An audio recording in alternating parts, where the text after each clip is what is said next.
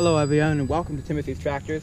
I just picked up this X195 and I'm going to be putting my 12 inch wheel weights on them and I'm going to show you guys how to do that. Now these are the plastic wheel weights but the iron ones that they sell will go on the same way.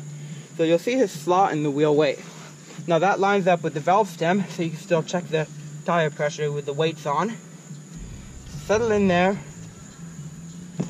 They're 50 pounds each but they're not that hard to put on. Like that. Now you'll notice these bolts have three nuts on them.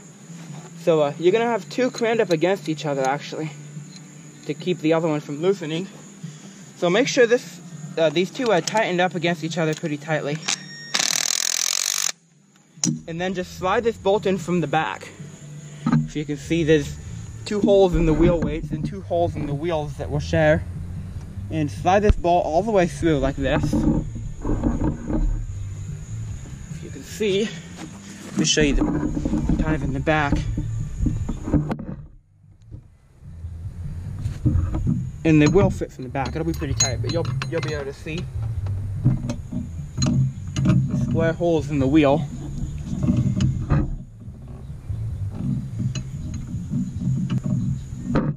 Just like that.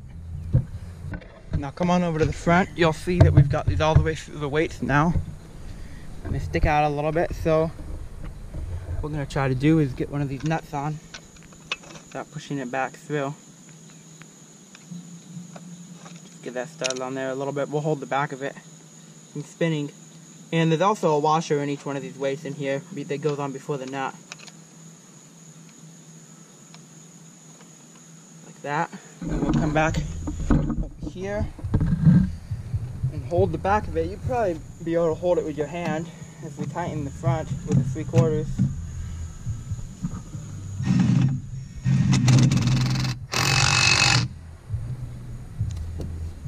The back of this one. Get it started by hand.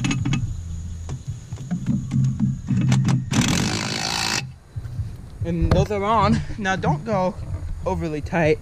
You feel like you could just go and go and go.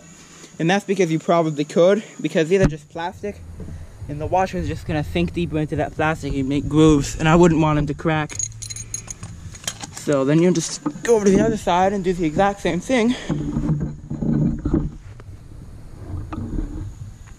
So first, make sure these two nuts are crammed up against each other. Get them tight so they won't move.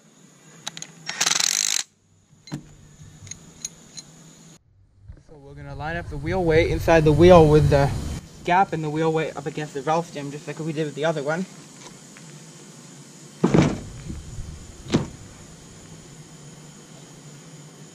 About like that. And put in the long bolts from behind again. And the square holes in the wheel.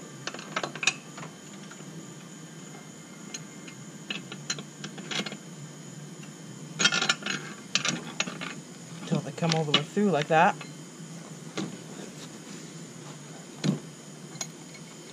Get one of these nuts started so it doesn't fall off on me.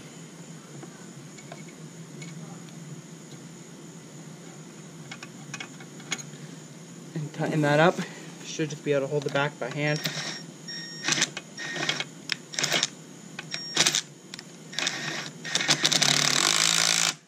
Like that, good and snug.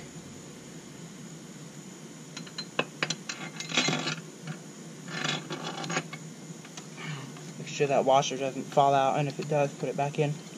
You want to use that?